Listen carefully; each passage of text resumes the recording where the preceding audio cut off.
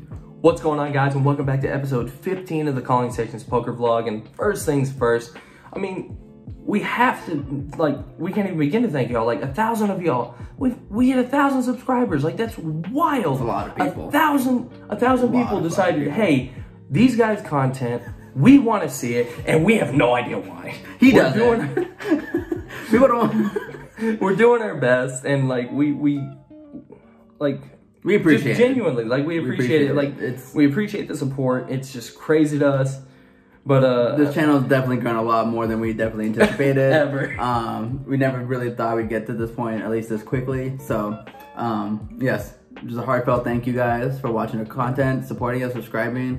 Um, but you know what? Let's just get to the felt, and yeah, we'll just see you there. For this first hand, we're gonna look down at Queen Nine of Diamonds in the cutoff.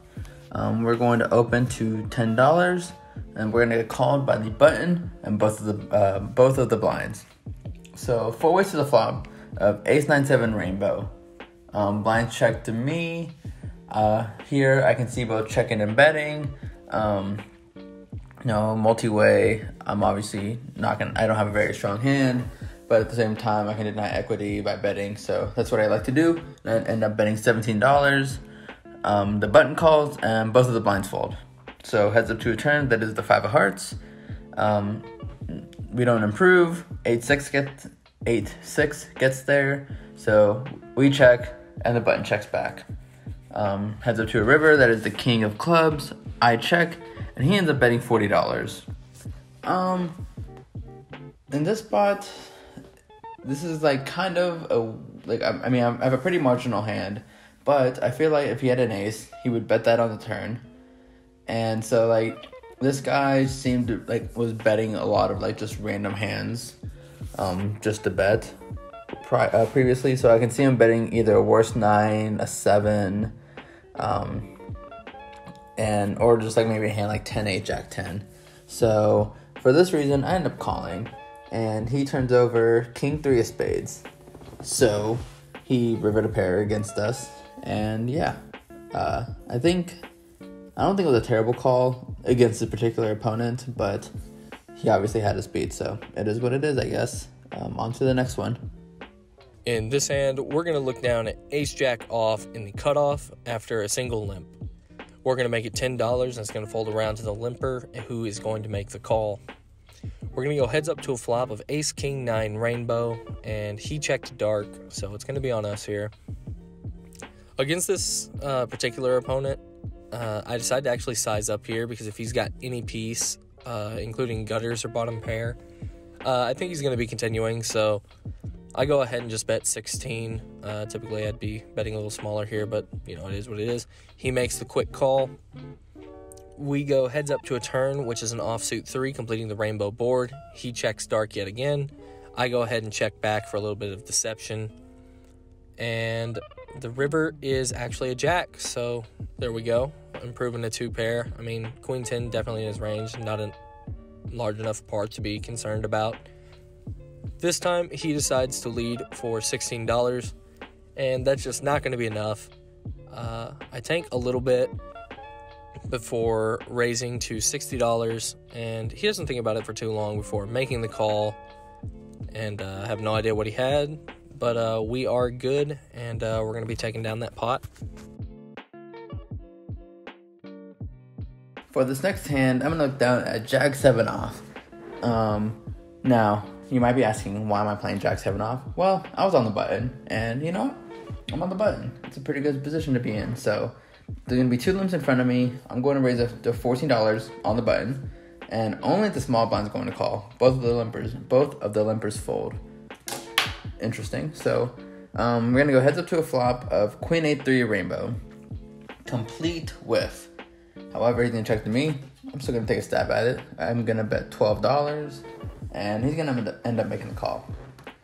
Um, turn is going to be the nine of clubs. We have a gutter ball now. We have equity, so we're gonna bet again, and uh, we're gonna bet thirty dollars this time. And once again, he's gonna call. So, um, yeah, gonna I'm preparing to fire the river, which is the four of diamonds. Um, he ends up thinking for a while. Um, I was he was to my immediate left, and I wasn't really watching him. And I asked him actually if the action was on me because there was a lull in the action, and he ends up saying, "No, it's still on me. I'm thinking about whether or not I want to bluff at it," and then just open mucks. And I'm like, "Oh, okay then." I mean, I was fully prepared to fire the river, but still, um, it feels nice to win the hand without even having having to risk any chips. So, um, pretty good result with Jack High. I will take it. In this hand, we're going to do something a little different. Um, since I didn't have very many hands, uh, Sal's going to go over his hand uh, with me for the first time. I have not heard it, um, so I can give my unbiased opinion and my in the moment reaction. Also, we're doing this because I didn't have very many hands and I wanted to be included.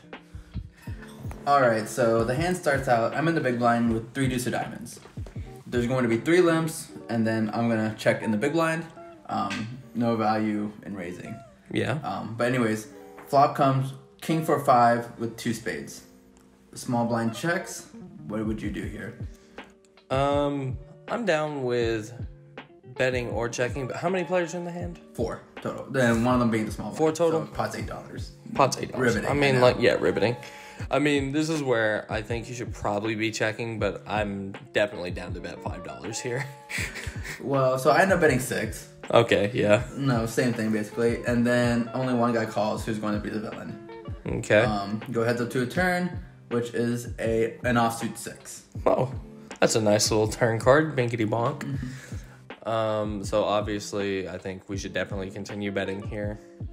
Um, yeah, so end up betting fifteen dollars. Nothing off track track here. However, this is where things go off the rails. Okay, whoa. Oh, train crash! Boom, boom. Oh, Anyways, he ends up raising to fifty dollars. Um, I think we've got a pretty clear cut call here, you know, um, because I mean, I guess you can raise and try to gain value from like the flush draws and whatnot, but I, I think it's more profitable to uh, call and allow him to keep bluffing.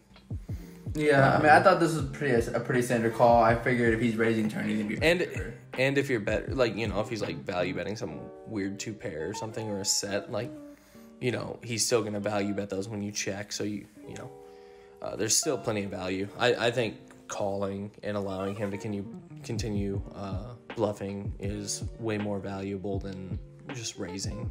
yeah. Also, when you like, I don't know if your hand's super strong because I mean the pot was small. People will call with those gutters, you know. Um, so I mean, yeah, I think I think calling turns definitely the most profitable play. It's what I would do. Cool, yeah. I mean, that's what I ended up doing. Um, just because again, I felt like if I um, just call, he's gonna be betting river, and I can evaluate there. Yeah. Um, so I call. River is the jack of diamonds, so no flush completes, no draws get there except for our draw, um, or I guess no flush draw gets there. Anyways, I check, and he bets one hundred twenty-five dollars. It's an enticing spot to raise, but it's really tough to gain because you didn't get raised on the flop with a flush draw on board. So, I mean, maybe I'm just a nit, but I I, I think I'd just call here. Uh, I don't think folding's anywhere within question. Like you, I don't think you should ever fold here. Yeah. Um. Well, so I basically I was in the tank for a solid minute or two. Um. Just I wasn't sure if I want to call or Or raise, yeah. Um, I think calling is definitely the more. Well, calling is a more conservative play. I know riveting. Uh-huh. Um, But I mean, I guess like the question was like, could I get value from a set or two pair? Like, can I get a value from six five, four five? so the reason I think six five is more likely. Um, six five is the most likely hand you can gain value like from. six, just if it's in an limp pod, maybe they get like, Yeah. six. I mean, it's really it's really tough because I think like the flop two pairs and stuff are going to be raising you. Um, so like we can discount, like not, we- we're not going to completely throw them away, but I think we discount them. Yeah. Like you know, fifty to seventy five percent of the time they're going to be raising them, in, in my opinion, especially this player. Um, so I mean, we're I think he's going to be betting this amount with missed flush draws, you know, better straights, two pairs and sets. But I think, you know, like I said, 50 to 75% of the time, sets and two pairs are going to be um, raising flops. So, I mean, like 6 5 and king six are the only two two pair combinations. So I actually don't hate just calling. Yeah, well, that's what I end up doing. And we get the bad news. He has 7 8 off. So he had the nut straight. I had the bottom, the dummy end. So we lose a, a pretty big pot there. And the biggest mistake you made was getting there. Why would you do that? I know. Just hit the ace instead, Sal. Then you have the best hand. or I just miss and I can keep on bluffing at it. Fair enough, fair enough. In this hand, there's going to be a straddle for $4. We're going to see an open to $10 from middle position. I look down at King 10 off on the button. I go ahead and make the call. Blinds get out of the way, and the straddle calls as well. So we're going to be going three ways to a flop, which is Queen 7 3, Rainbow. Uh, checks to me. I think about taking a stab here, but take the conservative approach and decide to check back. The turn is an offsuit jack completing the second rainbow board. Um, checks to me again, and with the open ender now, I think it's fine to start bluffing. I fire for $20. The straddle makes a very quick call, and the initial raiser folds. So we're going to be going heads up to a river, which is an offsuit deuce. Um, well, I guess all the deuces would be offsuit, but either way. This is where uh, I get a little confused because he decides to lead for $25. And I think the only strong hands he could have here are a set of threes, a set of sevens, and possibly a rivered set of deuces. I can see him playing all of the, those hands the same way, but I think he's going to have um, a lot of missed straight draws, a lot of missed gutters, or maybe like a bad jack or a bad queen that's trying to block bet. But, uh, you know, uh, I get some devious intentions in mind. Um, I feel that a lot of the time he'll probably be weak in this spot. And I came here to put weak hands into tough spots. Uh, I'm not really repping too much when I do this, though. Um, not 100% sure whether I like this or not, but either way, I go ahead and raise it up to $95. And very quickly, our opponent tosses in a chip. I flip over my cards, thinking it is a call before the dealer announces all in. So, uh, really tough spot. Don't really know what to do here. Uh, I actually consider going for a mixed strategy of folding and then folding some more and uh, maybe every now and then a hint of folding wouldn't be too bad. So, obviously, getting the bad news. Uh, he shows a set, so yeah. Sometimes, sometimes you get caught, and not even not really getting caught, but uh, you know, it's always nice to bluff and then just get you know ripped on. So that hand doesn't go the way we want, but that's all right. We'll live to fight another day. For this last hand, we're gonna miss some of the action. Um, I was about to go home and I had stopped recording at this point, but this ended up being a pretty interesting hand. Um, the under the gun is going to open to ten dollars. The under the gun plus one and two are both going to call. Um, I'm in the cutoff and I have ace queen of clubs. I think a pretty easy spot to three bet. So I three bet to fifty five dollars, trying to isolate, and my plan does not work. We get three callers. Um, so we're going four ways to a flop that is already pretty big and the flop ends up being 333. It checks to me, and admittedly, I wasn't sure what to do in this spot. Um, I don't really have, I don't haven't had a lot of studying. I haven't studied this spot a lot in three bet pots on a triple paired board or three of a kind board. But I figured betting small is the best way to go.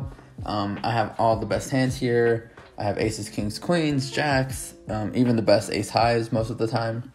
Um, so I think with those hands, I'm going to want to bet small. So having ace queen here, I think I also want to bet small. So I end up betting $60.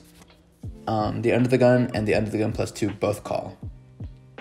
Um, go three ways to a turn. That is an offsuit six, completing the rainbow. Um, checks to me.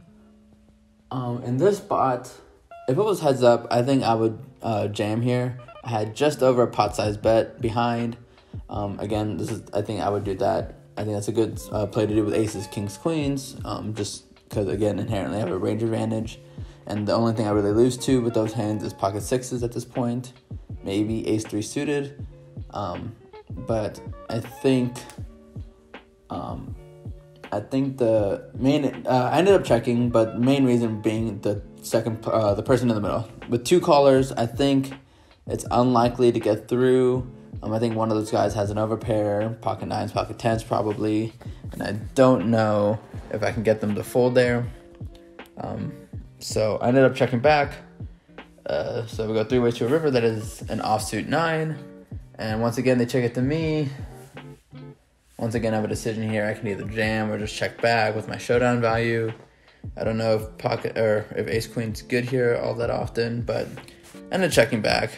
Um, under the gun shows pocket eights, and under, under the gun plus two shows ace queen off. So I think, in hindsight, I think a jam would have gotten through on the flop. Um, the under the gun player, I don't think can call with the guy behind him and I think the guy behind him is going to fold with the ace queen um, once I jam there. So hindsight's twenty twenty. Um, it was a very interesting spot. Weird. Probably played it poorly. Not too sure to be completely honest, but oh well. Um, yeah, live and you learn. Yeah, so uh, a little bit of a grindy card dead session for me. The last two sessions for me have been kind of been like that. So you know, that's part of poker. It is what it is. Um, had those two major hands. Other than that, nothing, nothing to report. Um, basically, same here. Uh, I had like the hands I had were from two days, and even then, most of my hands just kind of went like very, were very just standard small pots. It was bleeding out, hemorrhaging money. Um, yeah. He lost I I lost eight dollars, and I gotta say that one that one hurt. Um, yeah, I was not as fortunate. I lost uh, around seven hundred over the two days. Um, so fun stuff, but you know, a minor setback for a, major comeback.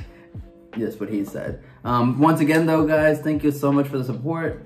Uh, if what do you, uh, let us know in the comment section though what you think about the blind analysis. Um, that was a cool idea. We always um, discuss hands anyways, and I thought it might be like yeah. a cool idea to like show y'all like our thought processes during the hands, kind of, especially from a outsider's perspective. All his idea, like I thought it was pretty. I thought it was a pretty cool thing to feature. But anyway, let us know what y'all think. We might do that more in the future. And but yeah, thank y'all again so much for watching, and we'll see y'all next time.